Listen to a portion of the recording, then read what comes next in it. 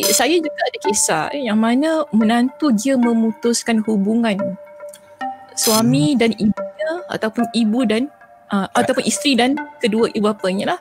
Okay. Uh, dia putuskan dengan batu api cerita yang bukan-bukan sampai anak tu kata apa aku tak terima engkau adik-beradik aku semua memang dia putuskan family tu dengan adik-beradik semua dia tak nak dia tak nak uh, suami dia ada hubungan dengan adik-beradik ada apa-apa ikatan dengan mak bapak dia sebab dia dia tak dia nak conquer suami dia sendiri nak suami dengan dengan dia punya family saja uh, ada juga kes yang begitu Ah, mak dia putuskan dengan dengan buat fitnah lah. Dia kata, mak awak buat saya gini gini gini. Padahal mak dia tak buat pun dahsyat lah sebab uh kita ni boleh memutuskan eh, hubungan mak dengan anak, adik-beradik kan. Syaitan ni kerja dia memang hasut. Dia tak pernah stop. Dia tak ada ambil MC. Oh, kan? Hmm, jadi yeah. dia memang kerja dia cari mana poin-poin yang boleh buatkan orang tu berpecah. Oh, itu rank kalau dapat meruntuhkan rumah tangga tu syaitan tu ranking dia besar. Itulah. Oh. Dia, oh, dia, dia naik darah.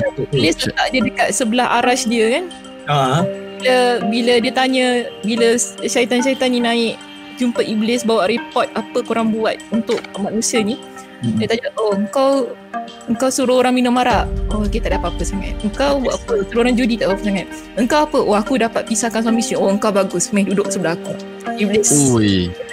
So juga eh dia punya ranking dia eh. Maknanya tinggi eh. Lebih tinggi daripada yang Yang lain-lain tu. Kalau kita kata maksiat tu Macam masih lagi Setan-setan biasa boleh buat benda tu. Hmm. Tapi hmm. orang yang Benda pasal rumah tangga ni Benda-benda biasa lah Gaduh Cerai benda biasa Tapi dia luar biasa Bukan kita kata Sikit-sikit nak salahkan setan Bukan gitu Tapi maknanya kita hmm. perlu Betul-betul pertahankan lah Get back to normal Jangan buat gaduh banyak panjang Kan gaduh Biasalah rumah tangga gaduh biasa Tapi jangan banyak panjang Seminggu dua minggu Tak betul-betul siapa Itu dia akan bawa kepada perkara yang lebih besar.